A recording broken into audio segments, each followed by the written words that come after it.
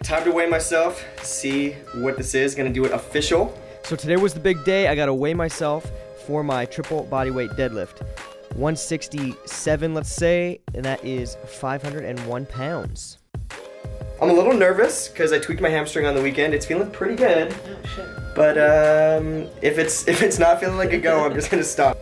So I started off with my normal warm-ups. I did uh, 435, 465, and 485, which I didn't show. Then I got to put five big slabs of beef on the bar, which I've never actually gotten to do before, not something that I was lifting. So I had my song going, I was pumping myself up, and I felt ready. Hamstring held up well, didn't feel it at all when I did the warm-up. Booyah! That felt really solid. Oh man, I was excited, let me tell you, boy. So I hit my 505, I could close the book on this project. So here I am trying 515. It didn't go, you know, maybe I could have stuck with it more, tried 510, but I wasn't too worried about it.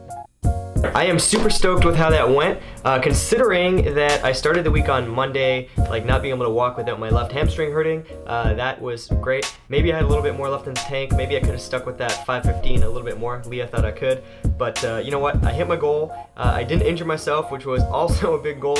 My back and everything stayed feeling really good throughout this entire process, which took many, many, many weeks. Uh, so yeah, I'm thrilled. Uh, I hope you guys the very, you know, the five people out there who are watching some of the videos. I hope you guys enjoyed the journey. Uh, I'm gonna move on to something else. I'm not sure what that is yet, but um, I don't know. I'll catch you on the next video. Whew, made it.